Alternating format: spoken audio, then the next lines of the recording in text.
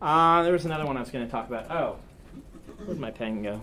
Um, other thing that an agent can do, we're getting to some of the smaller ones, but is auction.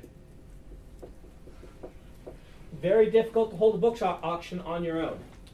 A book auction is where, um, you know, the, the dream version of book auction is you've got this really hot book. You're a, you're a hot agent. Everybody knows you don't send out crap. So you send to 10 top people a book that you say, all right, um, I will hear bids on this coming next week.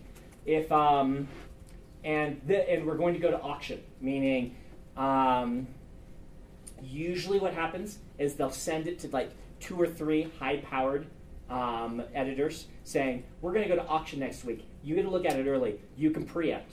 I think I think we talked about that. Yeah, Peggy talked about preempting, and they can preempt. What, what that does is they then offer a really really good deal pre-auction, and you decide to take that rather than risking where the auction could go because it will be if it goes to auction and nobody makes a bid. That can happen. Um, but if an auction does make a bid, then you can get three or four publishers bidding against one another, and they say, "We'll do this for the book. We'll do this for the book. We'll do this for the book," and it can push um, the advance up much higher. Uh, Alcatraz went to book auction. Um, was more of a silent auction in that um, we kind of didn't do the full. Here's what they bid. Can you beat it? We said we've got three people bidding on this. You've got two weeks to come up with your very best bid, um, and they all bid the same amount. Um, which Joshua actually preferred because he said, well, we can go and argue them all higher, but I feel like this is what the book is worth. And so we took it. Uh, that's something that Joshua did that I don't think uh, many other agents would do. They may have just pushed it higher, which might have been the right move, might not have been. But um, whenever you hear of a new author selling a book for over $100,000, it went to auction. Every time. I almost, I, I can guarantee that that book went to auction. It might be a really, really nice preempt, which could happen, but I bet that it was auction. And this is something that an agent can do. Um, it's very hard to do yourself because they don't take you seriously. Uh, imagine, you know, you don't have the track record that the agent does, and so sending it to 10, um, 10 and saying, I'm going to put this to auction, they're just going to laugh at you.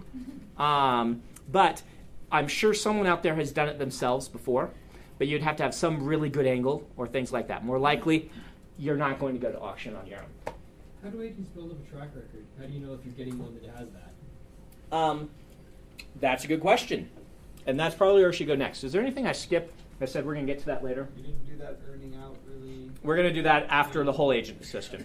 Someone asked why you. Uh, Why you Oh, why I picked my agent. Yeah. Um, actually, there's one other thing. So we're going to put a pin in this question too. What was that question again? Why you went with an How agent? do Yeah. you, how do you, how's an agent Oh, a track yeah, ask- getting a good agent. one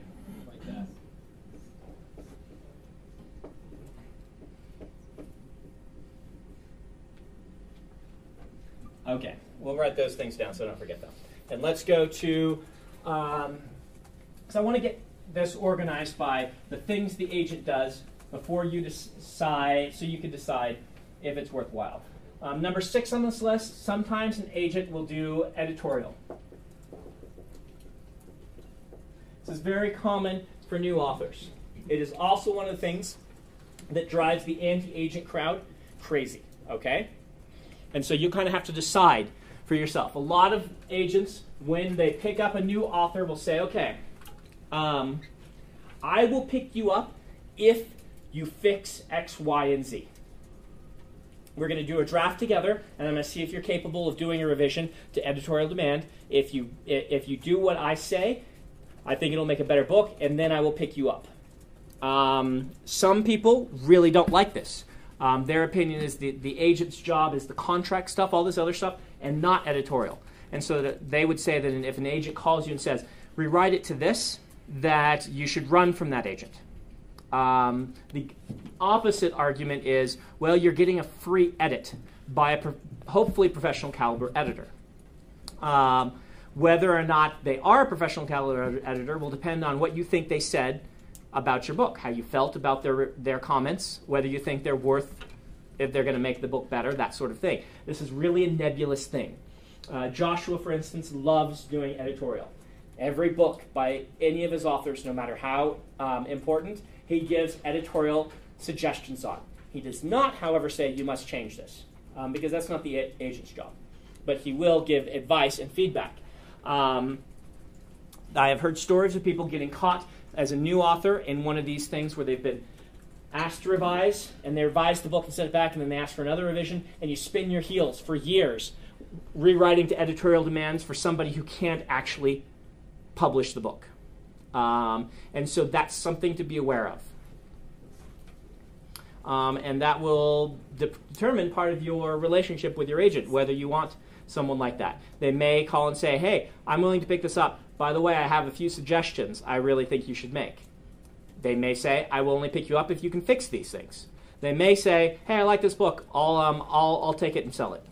Um, and you're going to have to really just decide what you want. Agents come in lots of flavors and styles.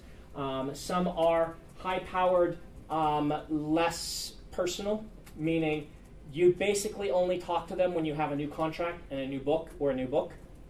And you say, here's the book. You send them. Um, they may not even read the book. They may read some of it and your pitch on it, and then take it and sell it. They, um, they may read the book and then take it and sell it, but uh, regardless, they view themselves primarily as I take this, I sell this, that's my job.